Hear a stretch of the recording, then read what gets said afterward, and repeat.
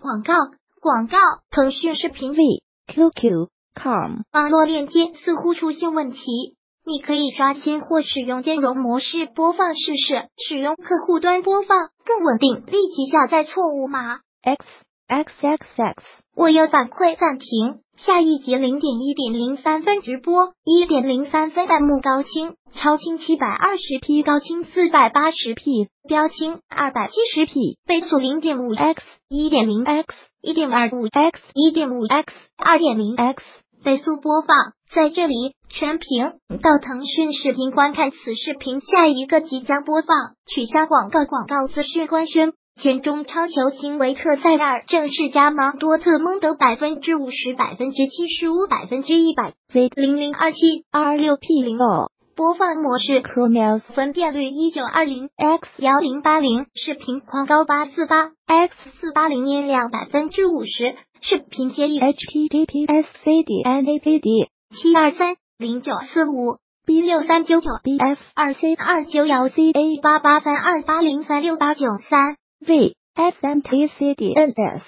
C O M 下载速度，缓冲质量，真属错误码，版本号三点四点三七，二零一八年八月七日二十一点零三分十五秒播放流水八二九六 F 八八九 C 零六八幺八零五 A E 五零三 C 五零 C 幺三九 B 八七 B 七零二零一本地日志，点击下载，点击清除。腾讯视频观看完整版资讯官宣。前中超球星维特塞尔正式加盟多特蒙德。按住画面移动小窗 X W I N D O W D A T A V I D E O A R R P U S H V 的 W 零零二七 R 六 P 零 O i n g H T T P News G T I M G 点 C O M News App L S 零四七九三幺幺七七五幺六四零四八零零视频资讯官宣。前中超球星维特塞尔正式加盟多特蒙德，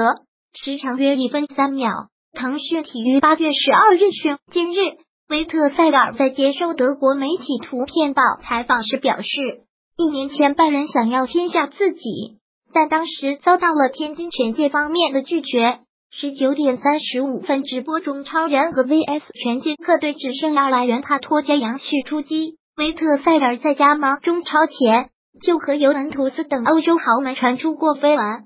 不过他为了更高的薪水来到了天津权健，在中超的维特塞尔表现依然出色。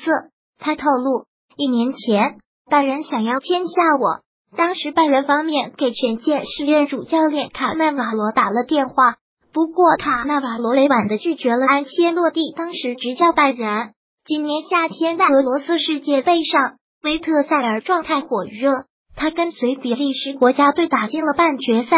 并且最终拿到了第三名。然而，在世界杯结束后，维特塞尔就传出要回欧洲踢球的消息，并且也最终如约加盟了德甲劲旅多特蒙德。维特塞尔表示：“我跟随比利时队踢了一届难以置信的世界杯之后，我的目的就是要回到欧洲踢球。对我来说，这是正确的决定。”因为多特蒙德是欧洲最好的俱乐部之一。从维特塞尔的采访来看，他似乎很早就下定了重返欧洲踢球的决心。对如今的权健来说，问题不仅是维特塞尔离开，而且莫德斯特也蠢蠢欲动，寻求离队的机会。歌德